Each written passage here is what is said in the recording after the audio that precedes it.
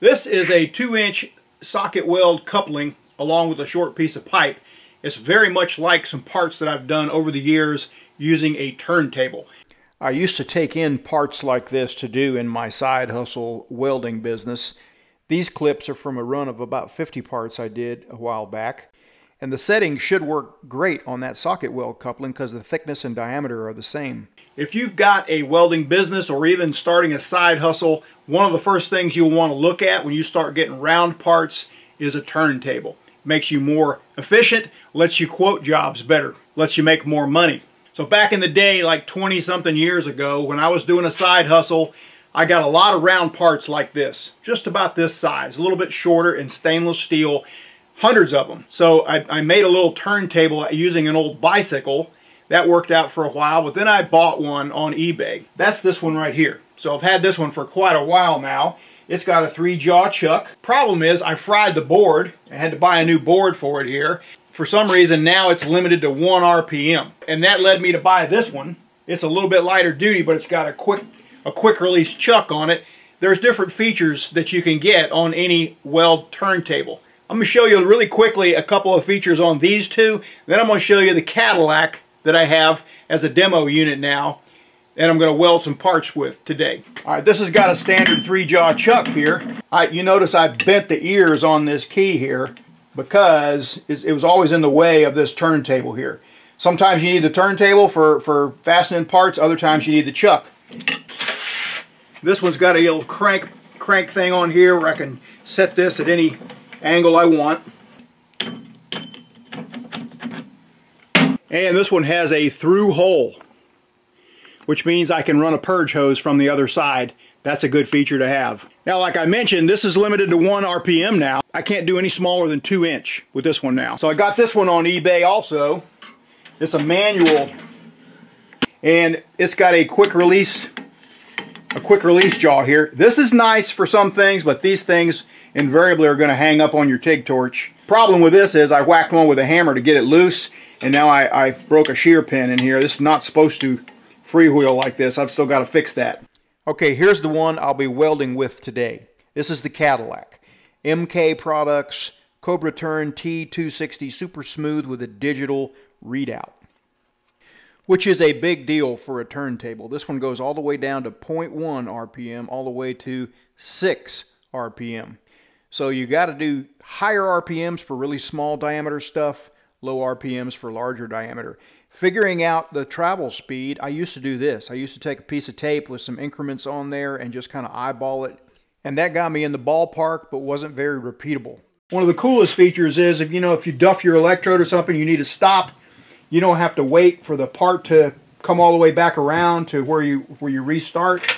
It's got this neutral clutch here. So all I got to do is kick it out of gear and then I can spin this around to exactly where I want it without undoing the chuck and then I'll put it back in gear and then I'm ready to go again. It's big, big time saver for positioning it, getting it right where you want it without having to take the part off or just wait for a revolution. Another another option is I if I hold this button in, it'll fast it'll fast uh, jog the part.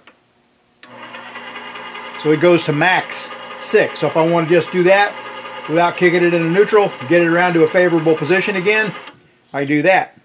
And when I bump it, that's when it kicks it on. Or even while it's running, I can hold it in and do a fast jog.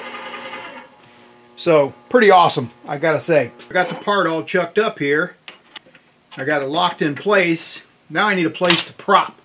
Doesn't do me any good to have a turntable positioner thing here if I don't have if I can't be steady here.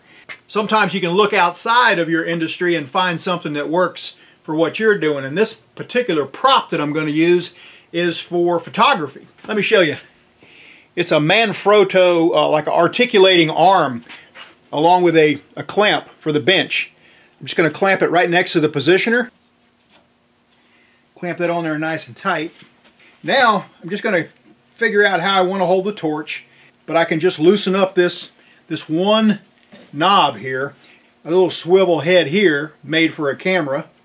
But then this arm swings this way and then the bottom one swings so I can just figure out how this thing is going to work for me in the most comfortable area. Okay, that seems pretty good. And I can just lock it into place with the twist of one big knob. Let's weld. 210 amps, two pulses a second, 60% peak time, 60% background. I'm using a clear Jazzy 10 cup, mainly just so we can all see everything a whole lot better. I don't use clear cups for everything, but when I'm filming, it really helps you see the puddle, me see the puddle. It lights things up like crazy. Alright, the rest of this thing looks pretty much the same.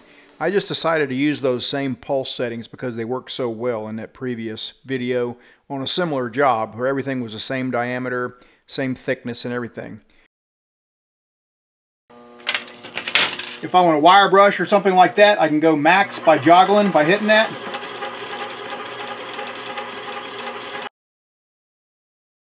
One of the coolest things is this clutch, like I said before kick it out, kick it into neutral and, and spin it around. Big time saver. The whole reason you're getting a turntable is to save time, increase productivity.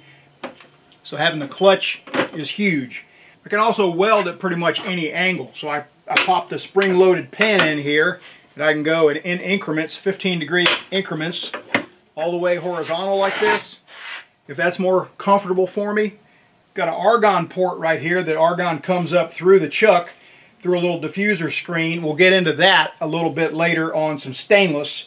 All right, let's do a little technique called walk in the cup. You don't need a prop for this, and I've done some parts like this before where I didn't prop, I just walked the cup using a turntable like this. It worked out pretty well.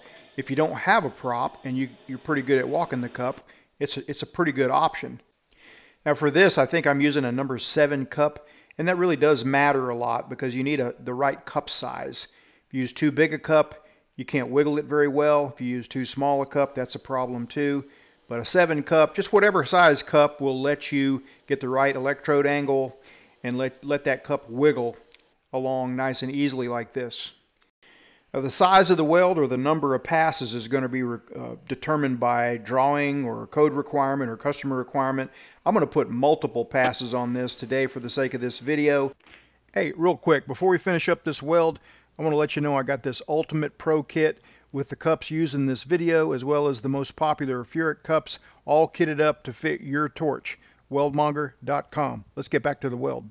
This next pass I'm just going to try to line up the edge of that weld with that first straight line on the socket weld fitting to give me a guide and I'm just going to try to wash that in that, that very edge to try to keep that bead straight. If you've got your own welding business or a side hustle or whatever, this is the kind of work that you'd really love to get. It's just gravy. It's great practice. It's, it's actually very enjoyable. So we'll let that one cool off for a little bit, wire brush it off, and put a second pass on there. You got to find something to line up with on each pass. So you kind of either the edge of the weld or the, the toe of the weld or the edge of the fitting or something like that. That's that's going to be true in no matter what kind of welding you're going to be doing so that you can kind of stay uniform and straight. That one looked like it could have used at least 5 or 10 more amps. So I'll jack it up a little bit here for the last pass, the third pass. Don't want to go too high, don't want to leave undercut, don't want to overheat the thing. I let it cool a little bit between each pass too, by the way. Going back-to-back -back passes on this thing would just plain get it too hot. So I think I'm about 170 amps here for this last pass. And as you can see, I swapped over to a white ceramic Jazzy 10 cup just because it takes me several of these things to shoot a video. Are you wondering if this Jazzy 10 clear cup will fit your torch? How do you know what style TIG torch you have? How do you know if this cup, this kit will fit your torch? This quick video should help clear things up. Let's do it. If you're looking to upgrade from the standard torch hardware that comes with most TIG torches, you want to be sure that it's going to fit your torch. So how do you know? There are so many different brands, so many different numbers, it can get confusing. These are all 17, 18, 26 style torched. It doesn't matter what number, doesn't matter what brand. If your hardware looks like this, you have a 17, 18, 26 style torch. This Furick adapter kit for 17, 18, 26 style torches will make the Furick cups work with your torch, if that's what you have. That's another picture of it there. It's got two black insulators that come with it, slightly different. One of them will fit. Now there's nothing really wrong with the standard hardware that comes with them. It's a bit long. The, the long tail is a bit long for real work. It's good for practice. Even when you shorten it up with a little button on the end, it's, it's, you can only shorten it up so much. But to get better gas shielding as well as just shorten up the overall length of the torch, this adapter kit will do it. You just swap out the white insulator with this different one here.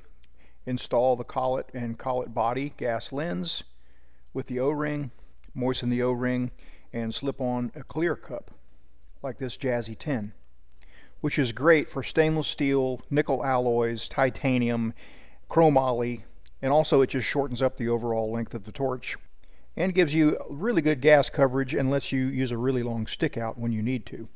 9 and 20 style torches are a little bit smaller. They use a smaller collet body, not even an inch long. So if your hardware looks like this, you've got a 9 or a 20 style TIG torch. Could be air cooled, could be water cooled. They both use the same hardware. So in order to use a clear cup, we just replace the standard collet body with the gas lens collet body and put an O-ring on it that's included. That's a part number 45V44 for the 332nd gas lens collet body. 332nd are the most popular. It's the most universal size because you can weld anything from razor blades up to really thick stuff at 200 amps or more with a 332nd electrode. Just simplifies things. As you can see, I slipped the O-ring down on the base of the gas lens, moisten it.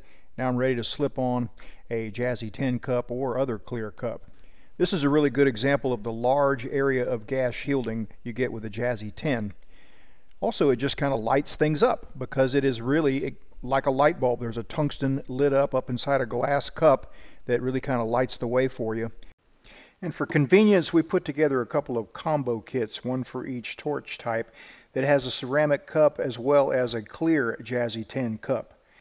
Sometimes the job calls for one or the other and it's really easy to swap back and forth. You slip the clear cup over with the O-ring and to swap over to the ceramic cup just remove it, pop off the O-ring and then the white ceramic cup threads on just like any other ceramic cup. Once you have the adapter kit or the 45V44 gas lens, it opens up a lot of other options to you for other Furick cups. This is an 8 Pro cup, and you can really see here how it's lighting everything up, and you can see every detail around you, where you're going, where you've been, things that might be in your way. And once again, in order to make the ceramic cups work, all you need to do is remove the O-ring, and all of the Furick ceramic cups will just thread right on. It gives you lots of options. You're going to see better gas coverage. You're going to be able to use a longer stick out, less discoloration on stainless steel.